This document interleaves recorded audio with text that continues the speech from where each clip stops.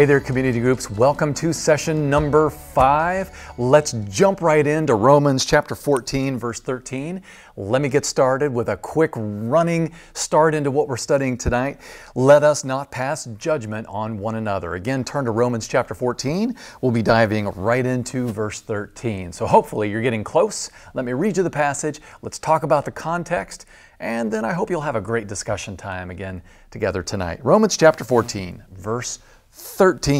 Therefore, let us not pass judgment on one another any longer, but rather decide never to put a stumbling block or hindrance in the way of a brother. Now, what exactly does Paul mean here? When Paul admonishes us to avoid being a stumbling block, what exactly is he talking about? Well, the more you study out this parallel passage to the 1 Corinthians 8 passage, on the eating of meat offered to idols, which I'll get to in a second, the more you study out what Paul's referring to, he's really talking about people who have an unhealthy focus on one of two extremes when it comes to obeying God. There's the extreme of law. In other words, all I'm doing is obeying, there's no heart behind it, and all I'm doing is making sure that the outward conformity or this legalistic approach, I'm making sure that that is the side I give my full attention to. That's the law. The other side is liberty. Hey, listen, Jesus saved me. According to Romans 8, there is no condemnation. I can do whatever I want, which of course is not true. In fact, Paul goes on later to explain should we continue in sin so that grace can abound? By no means, or God forbid. So, those are the two extremes when it comes to being a stumbling block or passing judgment that people often assume, one extreme or the other. So, what exactly is God calling us to do here, or really, what is He calling us to avoid? Notice what Paul says here. Let us not pass judgment on one another. So, what exactly does he mean? Well, in order to pass judgment, what you're doing is you're assessing the spiritual condition of a brother or sister in Christ. And typically, when that happens, it's because we disagree with the way that that brother sister has done or not done something.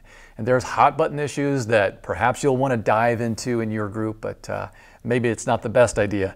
But hot button issues like music or dress or other similar guidelines today, there's disagreement within the body of Christ. And so if I assess a person's spiritual condition based on what I believe and what they're doing, then I'm essentially falling prey to exactly what Paul's talking about here. I'm passing judgment on a brother or sister in Christ. And what he's enjoining us to do is to avoid that. He's saying, don't pass judgment any longer, but rather decide never to put a stumbling block into the way of a brother. Now, I'd love for you to discuss what stumbling block means. It comes from the Greek word scandalon, which sounds a lot like an English word. I want to give you a chance to look that up and then discuss how it could possibly be.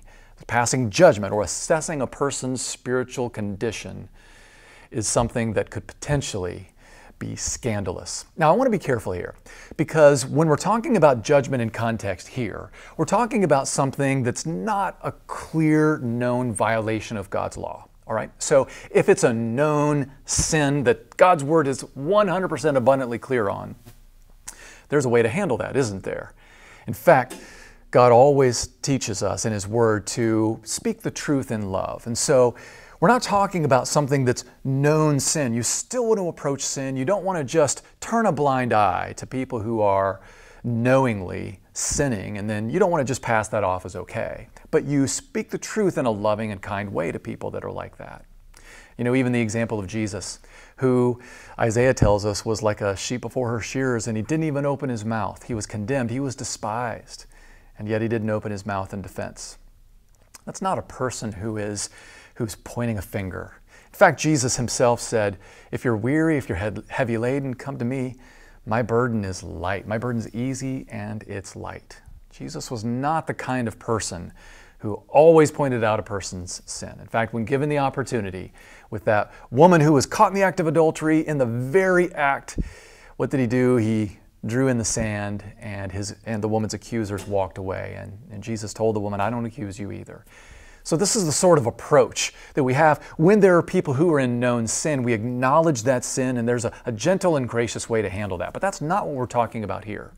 In fact, the parallel passage in 1 Corinthians 8 is about people who were eating meat that was offered to idols. And that's very similar to what Paul is discussing here. And so there we catch some insight into what Paul means.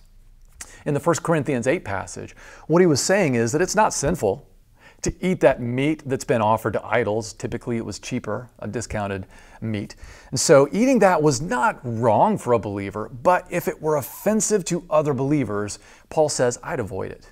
Remember how Paul mentions that all things are lawful for me, but not all things are profitable or expedient. That's really the principle here.